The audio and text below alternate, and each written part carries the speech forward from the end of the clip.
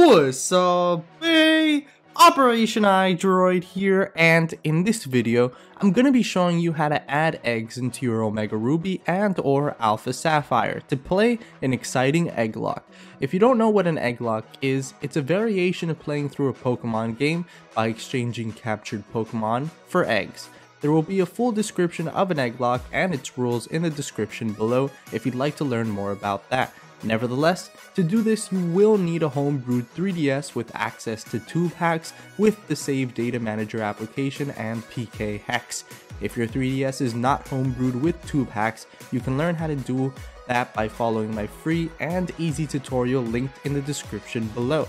Once you have that done, you must also get the Save Data Manager application and PKHeX, which you can learn how to do as well by following my tutorial linked in the description below. Finally, a huge shout out goes out to Hoodlum Scrafty for providing the eggs for this tutorial and once you're done here you should definitely check out his channel linked in the description below for exciting and unique Pokemon content. I worked really hard on making this tutorial clear and easy to follow so if you find it helpful please leave a like as it's greatly appreciated. Now, without any further ado, let's head into the tutorial. Alright, like I mentioned, you will need a homebrewed 3DS with access to tubehax and the Save Data Manager application installed with PKHeX on your computer. If you have not done those things yet, then I highly recommend you check out my tutorials linked in the description below to learn how to do that. However, I just wanted to clarify something very quickly and that's that tubehax is still working on the 10.0 update. If you're on any other update and you update to 10.0 with tubehax already installed, you will still have access to tubehax without adding anything else to your SD card by simply changing your DNS back to the DNS it's supposed to be. Nevertheless, to do this Egglocke, make sure you have an Omega Ruby and Alpha Sapphire game I would recommend that you start a new game and you get up to the first town with access to the PC box. Once you do that, open your save data manager and go to your Pokemon Omega Ruby or Alpha Sapphire by moving the D-pad, click A on it, and then click A to back up your save data. And then once you do that, hit X to exit, then hit start and A to reboot your device and get out of Homebrew. Once you do that, take your SD card out of your 3DS and put it right into your computer. Once you have your SD card on your computer, we're going to go into our favorite web browser and paste in the URL the link that is in the description for the eggs. So we're going to go ahead and download a zip file that has all of the eggs that were provided by Hoodlum Scrafty and once you download it like i mentioned it is a zipped file so make sure you unzip it and get a folder that's labeled eggs just like so and this folder has over 900 eggs which is insane all these eggs were given to Hoodlum Scrafty by his amazing subscribers so huge shout out to them you can see their names in the file of the eggs, which is pretty awesome. Nevertheless, once you get this eggs folder, you want to drag it onto your desktop. Make sure you do this as it's very important.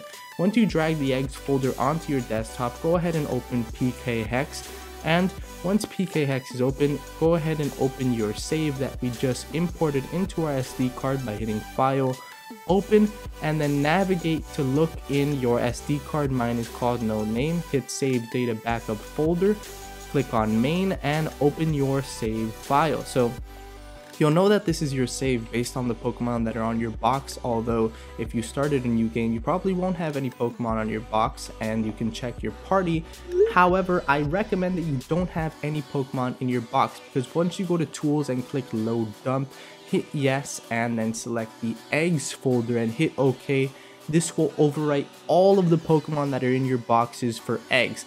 And if you get a error like I did just here, just hit continue. I'm pretty sure that only happens on Mac, so Windows users should be fine, but the error doesn't really matter because as you can see, all of the eggs will go into your boxes, and as you can see, you literally have boxes upon boxes of eggs, which is just insane. Like this will be more than enough eggs that you then you'll need for your Egglocke, but it definitely gives you a lot of options. Nevertheless, once you have the eggs for your Egglocke, you'll also need the rare candies for your Egglocke to level up the Pokemon that you get from the eggs to the level the Pokemon you exchanged it for. So click on items and go to medicine and you're going to change one of the medicines that you have in your party to rare candy. It only works if you overwrite one of the current medicines you have for rare candy and then set it to 995 i know that i put 999 but once you hit save and if you go back into items you'll see that the PKHeX automatically sets it back to 995 so make sure you put rare candies in medicine. Over a medicine you already have set to 995 hit save and then go to the SAV at the top right hand corner select export SAV then save that over your main save file in the same location that you opened it with, eject your SD card, and put it right back into your 3DS. So now, when we go back into our 3DS and open tubehax, we're going to go into the Save Data Manager application and import the save that we just put on our SD card from PKHeX with all the eggs and all the rare candies that you'll need for your Egglocke.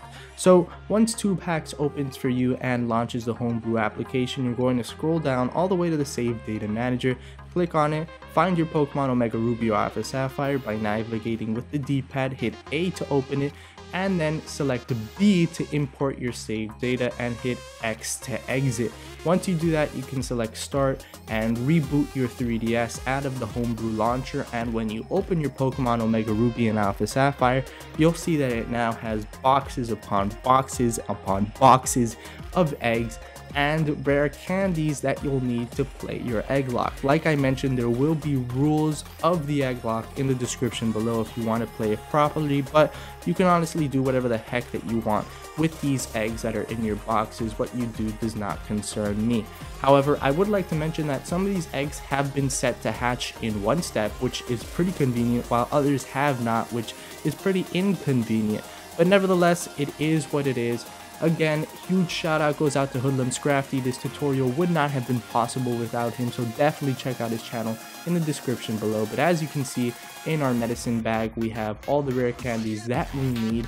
And if we open the PC box, you'll also see that we have all the eggs that we imported into our save. And from here, you can begin to have fun venturing through Omega Ruby and Alpha Sapphire while playing through an amazing Egglocke with tons of eggs that were provided by Hoodlum Scrafty. So anyways, I hope you found this tutorial helpful. I hope that you can now enjoy Pokemon Omega Ruby and Alpha Sapphire in a different style. And if you found it helpful, make sure to click that like button and subscribe for more awesome tutorials.